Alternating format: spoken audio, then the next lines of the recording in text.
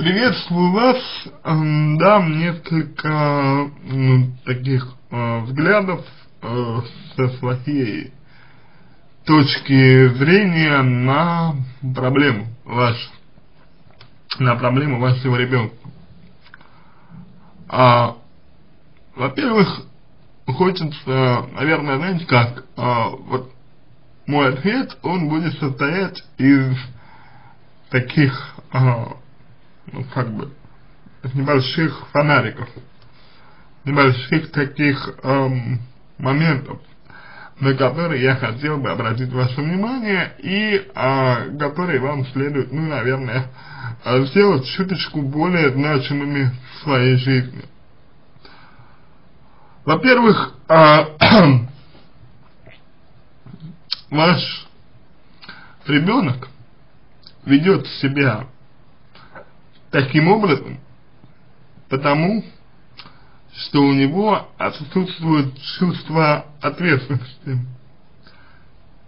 Другими словами, а его у него попросту не, нет. То есть ребенок не чувствует ответственности за то, что делает. Шесть лет это тот возраст, когда ребенок а, хочет делать все сам, он активно познает окружающий мир, и он считает себя, э, ну, таким, знаете, центром вселенной. Он считает себя э, единственным достойным внимания. И он убежден, убежден, что именно ему это все внимание и должно быть уделено. Дальше. Важный момент, о котором мне хочется вам сказать, заключается в том, что поведение вашего ребенка, именно поведение, оно как бы, э, знаете, такое, действительно истерическое. Но истерика это э, не то же самое, что истерия. Истерика это э, достаточно яркая, сильная, агрессивная модель поведения, э, негативная. А истерия это стремление человека привлечь к себе внимание. И ваш ребенок, судя по всему, если вы говорите, что это поведение началось со смерти некоторых ваших родственников, ваш ребенок стал чувствовать э, недостаточность внимания к себе. И эта самая недостаточность внимания к себе начала провоцировать у него такое вот поведение начала провоцировать у него такую вот линию, линию его поведения.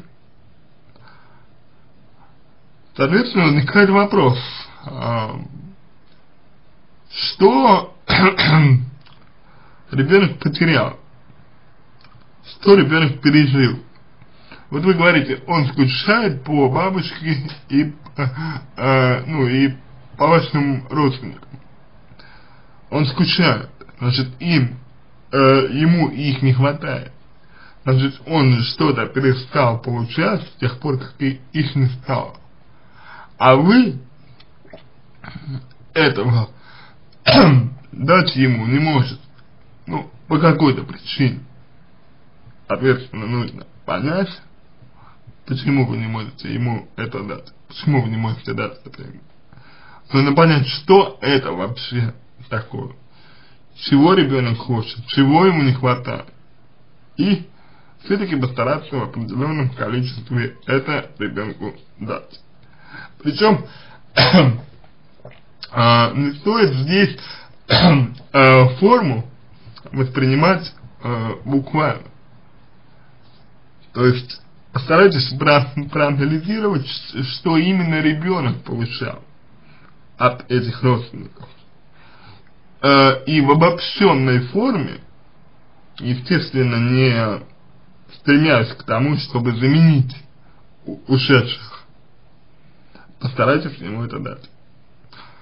Следующий момент, это момент, пожалуй, э, ну, не очень понятный здесь, э, но тем не менее, это момент, который заключается в отсутствии границ у ребенка. Понимаете, 6 лет, малыш, вообще-то говоря, нуждается во мнении взрослых людей. Шесть лет малыш,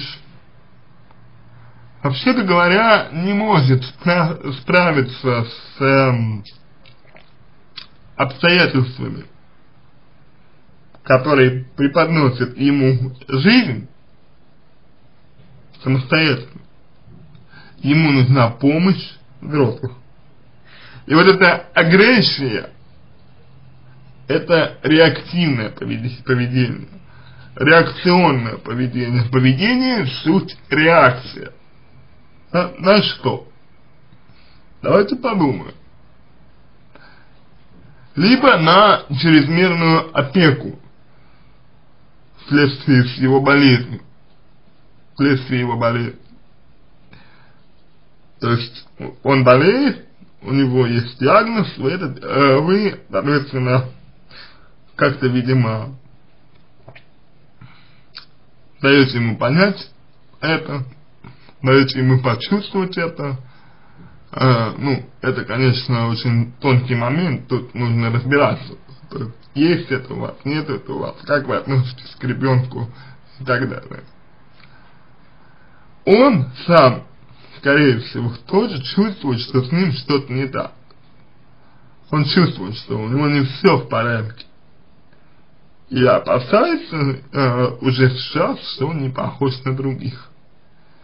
Опасается того, что из его особенностей, которые он сейчас не, не понимает, э, вы будете другого ребенка любить больше, чем его.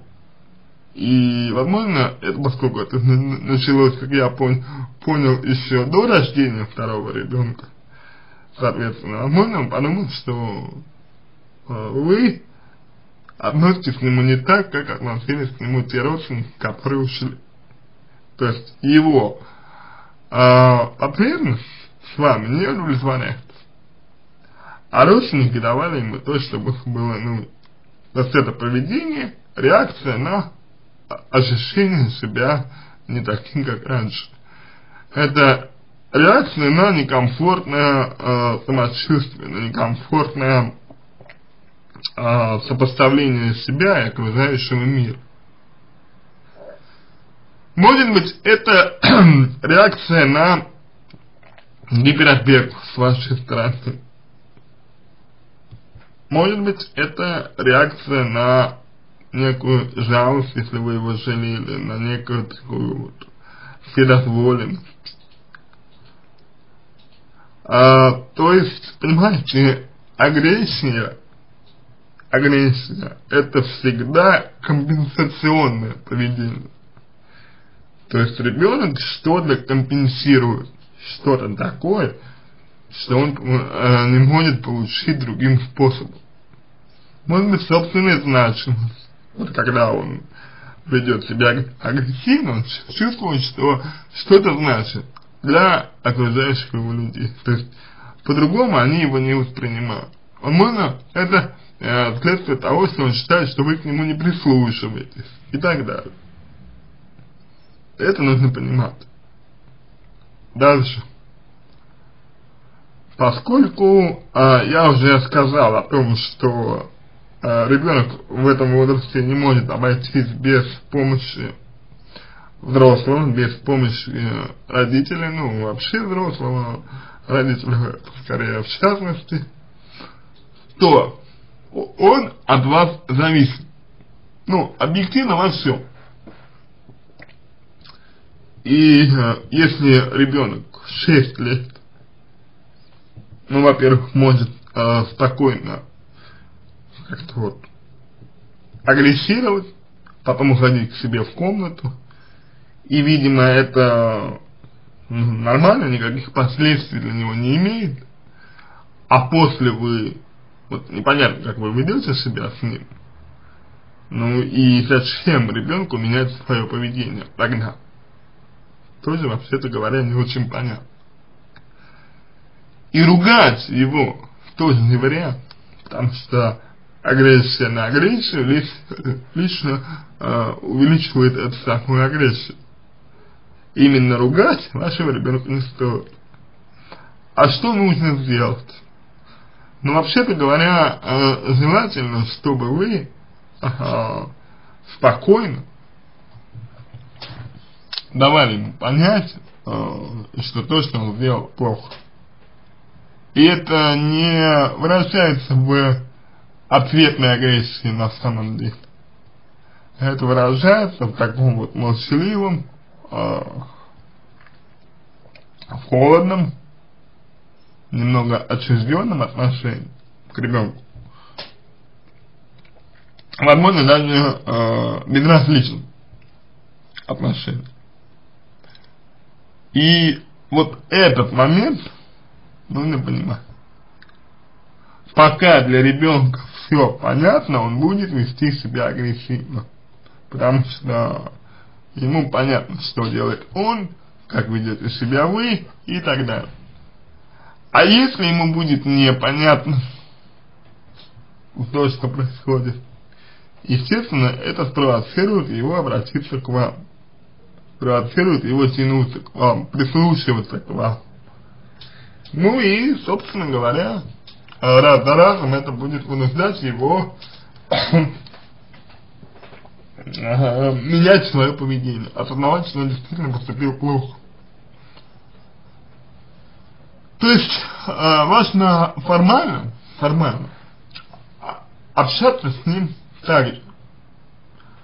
А вот фактически вы э, меняете к нему отношение, вы меняете восприятие его, его, вы меняете то, как относитесь к нему, и, собственно, у ребенка начнет закрадываться понимание, не сразу, конечно, понимание того, что то, что он сделал, имеет последствия несколько более глубокие, чем те, что есть сейчас.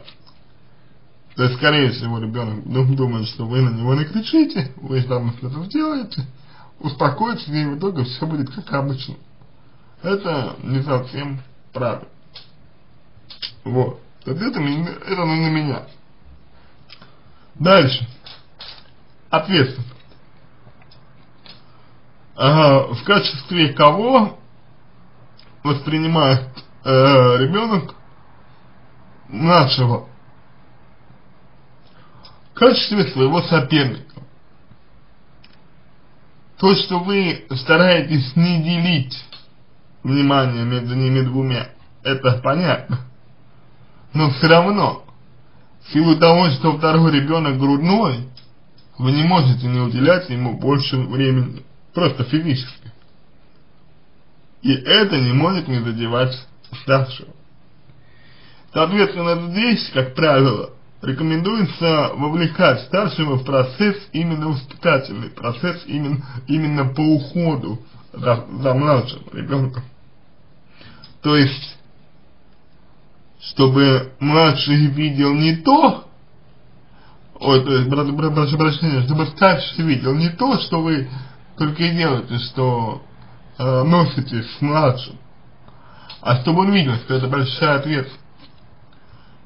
Дайте ему попробовать, э, естественно, в своем присутствии, сделать что-то полезное для младшего ребенка. Покажите, какая это ответственность. Покажите беспомощность младшего, старшему, чтобы он почувствовал себя сильнее, и, возможно, осознал бы кардинальное различие в э, своем положении и положении младшего ребенка. Далее. Далее мы поговорим о, о модели мужского поведения в принципе. То есть то, что делает ваш старший ребенок, то вообще-то говоря, больше напоминает, женскую модель поведения. То есть истерики, крики, агрессия, все это именно женская модель поведения. Поэтому важно понимать, что сама по себе модель, то есть в буквальном смысле слова, не означает, что так ведет себя женщина. Напротив, так могут вести себя все люди, каждый. Дело не в этом. Дело в том, что ребенок руководствуется эмоциями, а значит, именно эмоциональная, чувственная доминанта поведения человека, это все-таки женск, женская черта. И именно эта женская черта вынуждает мальчика вести себя ну, немножечко несуратно. Вот просто если у вас э, хорошее воображение, э, представьте себе на его месте девочку. И вы видите, что, в общем-то, э, девочке такое поведение было бы, ну, гораздо более к лицу. То есть, да, не сказать, что она, она права, не сказать, что она правильно себя ведет, но для девочки такое поведение было бы более естественным, а для мальчика нет. И здесь нехватка образца мужского поведения. Нехватка кумира, нехватка идеала, если угодно. У мальчика нет того, на кого бы он, он равнялся, кем бы он хотел быть. Нет авторитета. Возникает вопрос, почему? кто мог бы стать для него авторитетом. Э, вообще-то говоря, в первую очередь, это отец. Именно отец дает, дает первичную модель мужского поведения для ребенка. Но интересно было бы разобрать с вами этот момент. Насколько хорошо общается отец с ребенком. Насколько хорошо отец дает ребенку почувствовать, что он равен ему. Насколько отец дает ребенку ощутить себя мужчиной. Ведь это очень важно. И это возможно уже сейчас. Можно немножечко проявлять хитрость, говорить, что, собственно, вот, ты же хочешь быть мужчиной. Это как бы папа говорит, хочешь быть мужчиной ребенок такой, да, конечно, хочу, что для этого нужно сделать.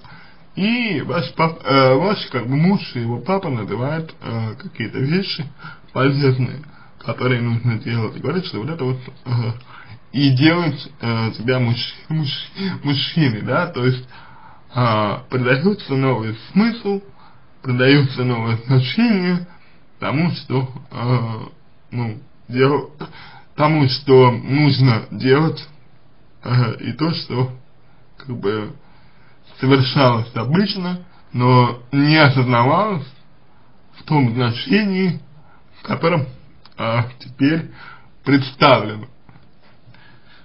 То есть а, мы здесь а, плавно так перешли к а, приданию новых значений тому, а, что должен делать ваш ребенок чем больше будет значений у требуемых действий, и чем больше эти значения будут э, соответствовать тому, что дорого ребенку, что для него интересно, важно, ценно, тем лучше будет, будет у него результат.